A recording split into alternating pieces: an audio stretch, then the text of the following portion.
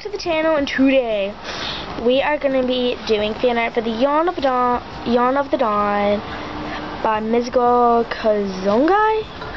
I seriously do not know how to pronounce her name.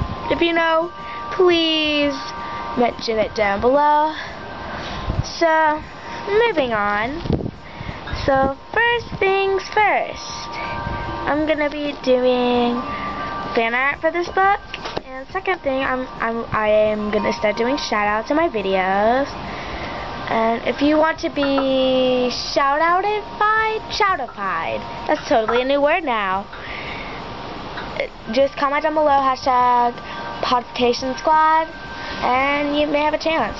And it's not gonna be every single video, just every once in a while. And nobody's getting double shout out shout out, shout outs.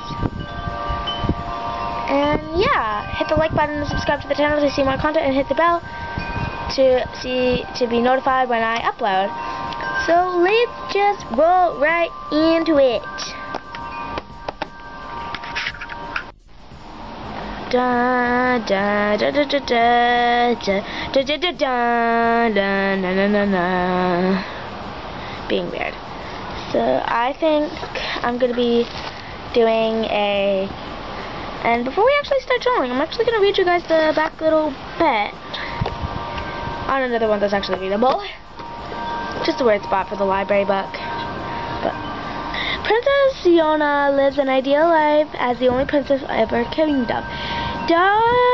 doted on by her father, the king, and protected by her faithful guard, Hunk, she cherishes the time spent with the man she loves, Swan. But everything changes on her 16th birthday when tra tragedy strikes her family.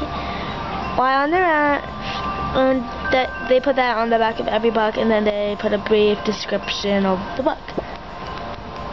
So you can pause the video as this will come in focus.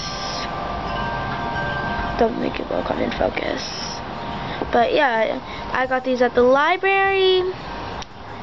Just search them up on the internet, put it on a piece of paper, but it's Yona of the Dawn. Awesome book. And so, I'm actually going to be doing fan art for the one I'm reading at the moment, number two. And since it's very Japanese, I'm just gonna start on the head.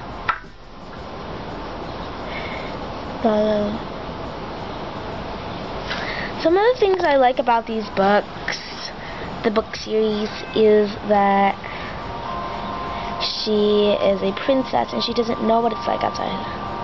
She's very kind-hearted and her, okay, you guys may, no, you know what, never mind, English. She is very kind-hearted and passionate and she has her own little sense of humor. She's not mean enough. And she worries about her hair a lot. And these books are a graphic novel, as in they are comics, Japanese comics, and they're read the other way around. They're read right to left. Words and sentences are going to be read the same way, just the bubbles you would read it the other way around. Like, example. The back of the book they have this. But here's first, second, and that's how you read it. And again, I like these books. And this is not sponsored. I, I just like the books. And I thought it'd be fun to do fan art. And so what I'm doing is just kind of just working on the head at the moment.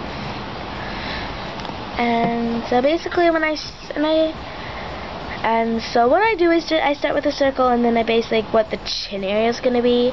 Because basically the upper part of people's heads, you're just to adjust the, you can make an oval if their head's just really long or something. Yeah. If it's just crazy long,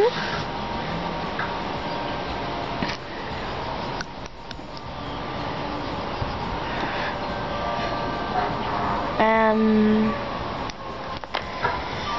so, I want to tell you guys some other books I like to read.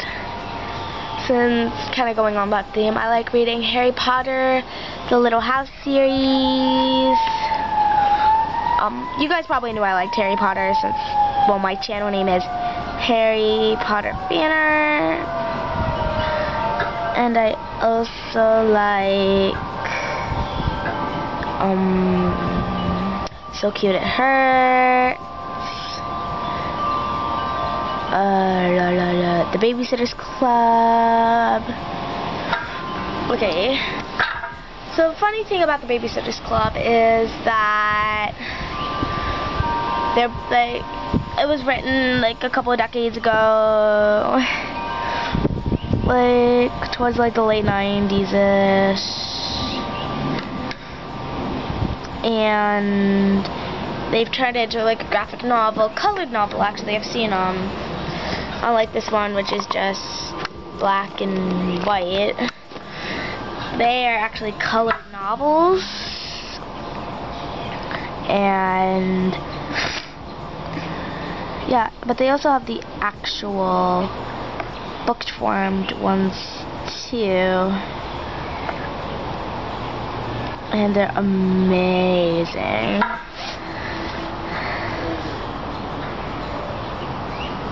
Uh, what else was I gonna say? And so Okay, guys, quick question. What Harry Potter house are you in? I'm a personally a Ravenclaw. Um, that's just me. That's what I get on almost every single quiz. It's, it's, it's, it's crazy. And there's, oh, and yeah. But yeah, are you Gryffindor? Like, are you Gryffindor, Hufflepuff, Slytherin, or Ravenclaw? Uh, let me know down below.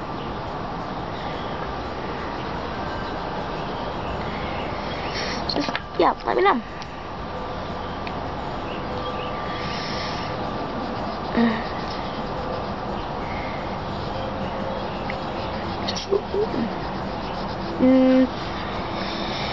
And yeah.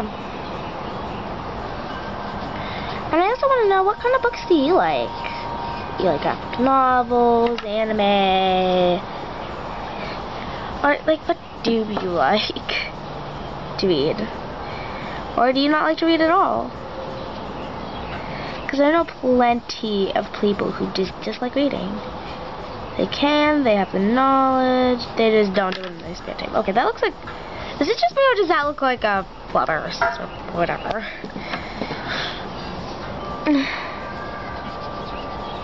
And yeah. I think it's a good spot to start on her robes. And a lot of times the Japanese robes are very flowy and big and full of color and patterns. So that's what I'm going to go for.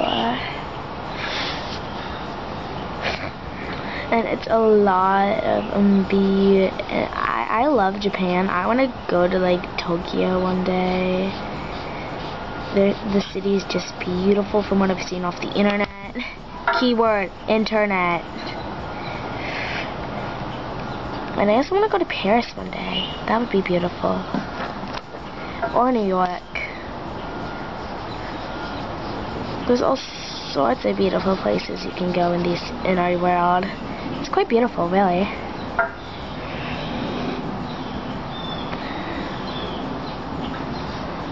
I, I, I don't know why, it's just gorgeous. Just trying to make her look nice and beautiful. Okay. Have any of you guys been to Tokyo? And how, on 1 through scale 10, how beautiful is it?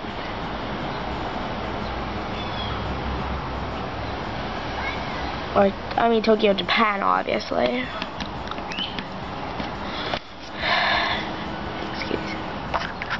Okay, so this is what I think about what I'm going to leave her robes at for general shaping. I think is about what her robes are going to be left at.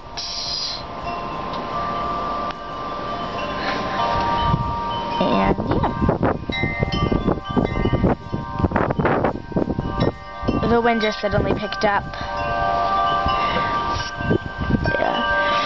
Beautiful day out today. It is gorgeous. It is utterly gorgeous. It is amazing and beautiful and gorgeous.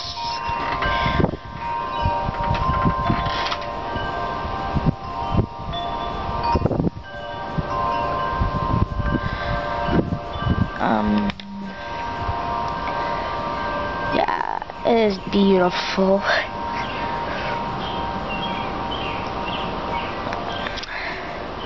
Um, exactly, so, uh, this is a lot better than what I used to draw, like, a, a couple of years ago, like five years ago. Would you guys like to see me recreate some of my oldest art pieces?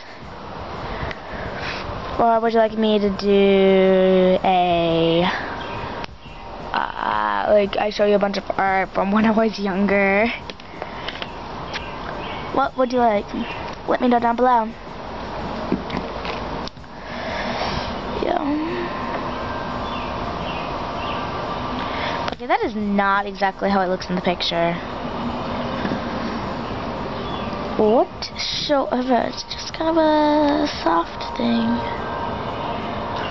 Um,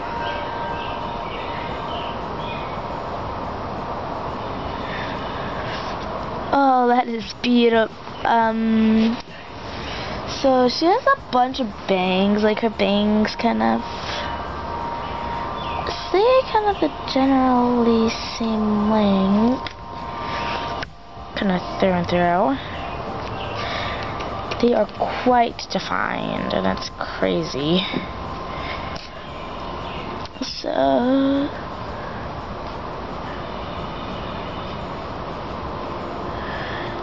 Doodling, happy. So what I'm doodling is more of like an 11 instead of 16 year old her. That's kind of what I'm going for here.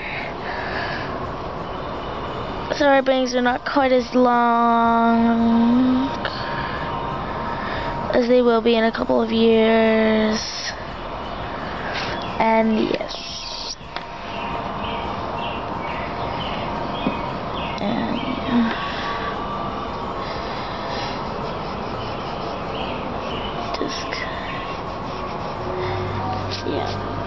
so amazing. So amazing. So in the books, her hair is like this very beautiful red color. It is so beautiful. It is so beautiful. Just so beautiful. How many times did I just say beautiful? I don't even know.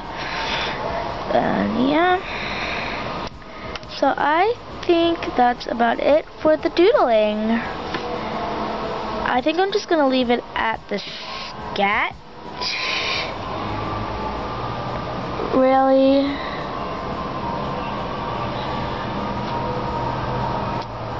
At this rate. Um, yeah. Now we get to move on to something more enjoyable and interesting. Our mind. Income beep, beep, beep, beep, beep, beep, beep, boom.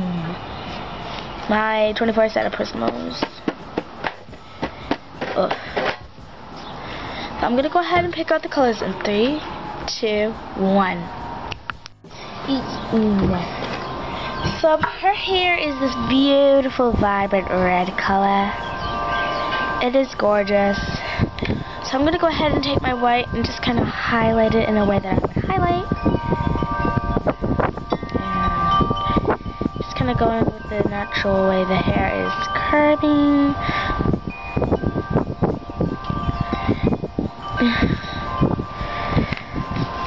And I'm just gonna put a layer of this uh, crimson red on top. Just like so.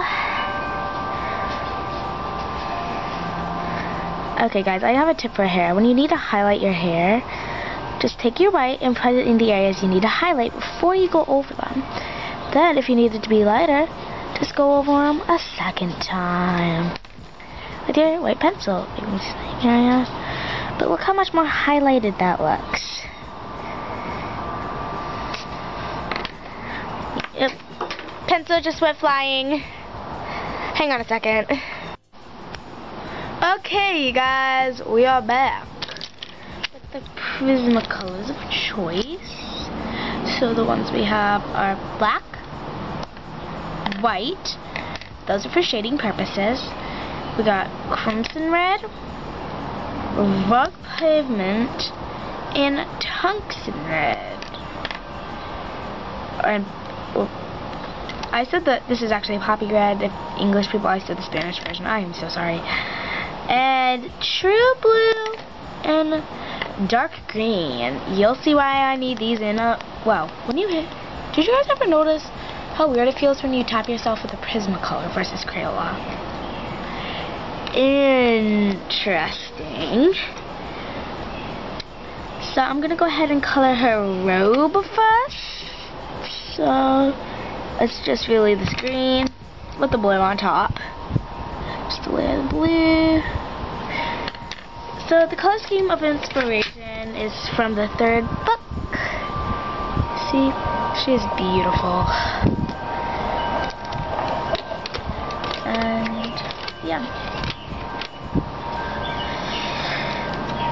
Now for the darker areas, I'm gonna use these. I'm gonna go ahead and do her hair with these reds. And I'm gonna be using these two for her hair. Wait wrong one. These two for her hair and this more lighter one for her robe.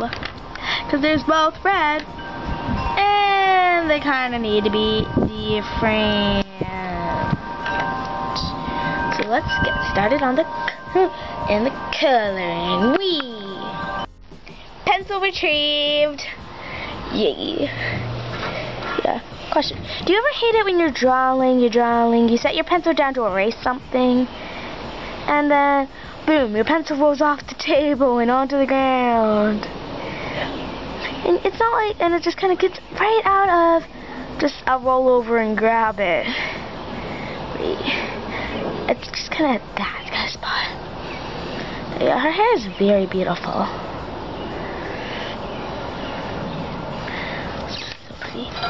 I'm just to kind of shade behind her neck in a darker tone of that color.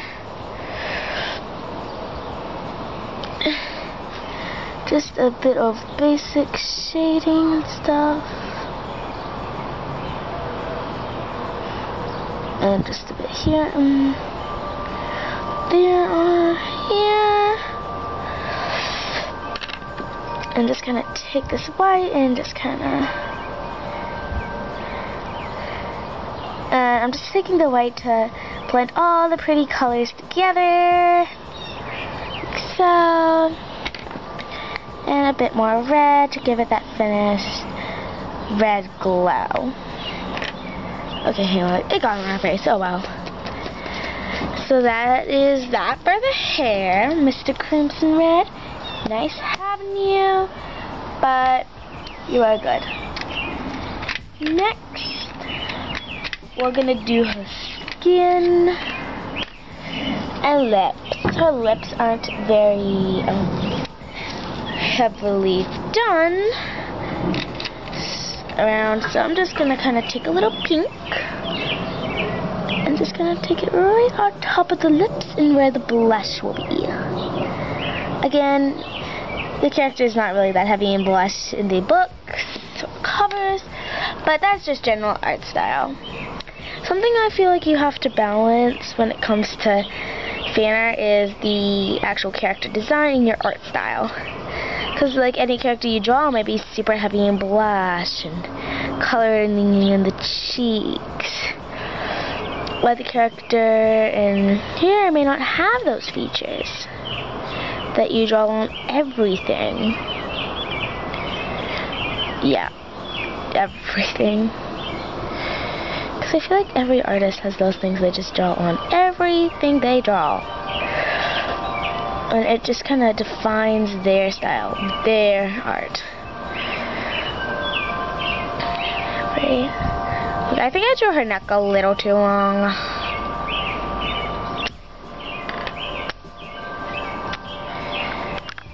Oh, well. Oh, well. Oh, well. Shading the neck. It's really normal skin to color, really. Next, we're not. We're just gonna color these hands.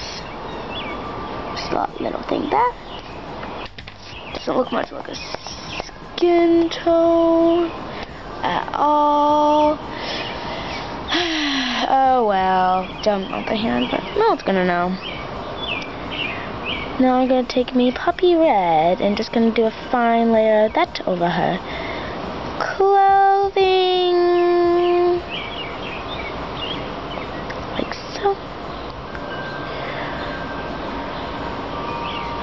I have no idea why she's wearing bright, she, her hair's bright red and her dress is bright red. I don't think I'll get it at all. At all. Uh, just gonna gently add a bit of shading and highlight this part of the sleeve right along here. And right along here, I think. And I think that's about it I'm just gonna kind of erase this spot right over here. It's not gonna come off perfectly, but hey. Um, thanks for watching, and I'll see you guys next time. And don't forget, if you want to get a shout out in my next video, comment down below, hashtag Potification Squad. See you guys next time. Adios!